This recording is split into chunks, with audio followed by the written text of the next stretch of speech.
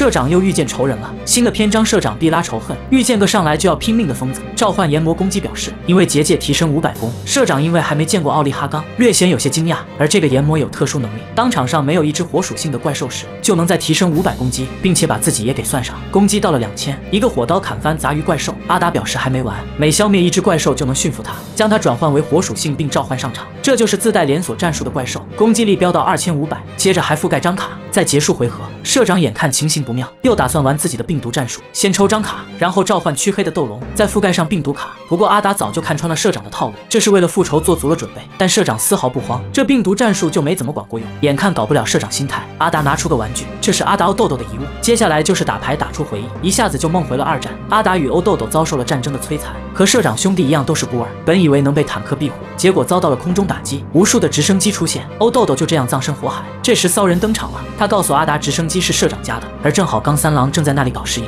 于是阿达就把社长视为仇人。而欧豆豆表示不对，你出来的篇章晚了，俺们其实是领养的，要复仇你得去上个篇章找奶亚呀。原来是这样啊，阿达刚感觉有些道理，欧豆豆就表示奶亚已经没了，那他喵老子找谁去复仇？反正看社长也不顺眼，就搞你了。社长直接就是认栽，每个篇章都是在帮刚三郎平事，那就继续打牌吧。好的，看我发动王宫的告示，让社长无法发动陷阱卡。接下来就是进攻，炎魔俯冲而下，打掉黢黑的斗龙。接下来是社长的杂鱼怪兽，竟然给了社长一爪子，生命值降到四百，并且因为炎魔的效果。将斗龙召唤到自家场上。现在社长手牌没有能召唤的怪兽，那就意味着要神抽了。抽卡，没错是神抽。发动薛命的宝牌，连卡都不展示就要抽五张牌，然后发动白龙降临仪式，将青眼白龙丢进墓地，特殊召唤白龙骑士之后再口胡张死者苏醒，直接将白架从墓地拉了回来。然后白龙骑士消灭斗龙，因为火属性的怪兽消失，炎魔攻击会降到二千五百。这时白架在发动攻击，一口白光一穿二之后，社长将白龙骑士当做祭品，特殊从牌组召唤另一只白架，局势瞬间就被逆转。但阿达稳如老狗，面对两只白架，他只需要一张贪婪的罐子，先抽两张牌，然后发动魔法卡鹰爪龙之火，一下子就消灭两只白架。社长瞬间懵了，这他喵搞什么？阿达解释效果。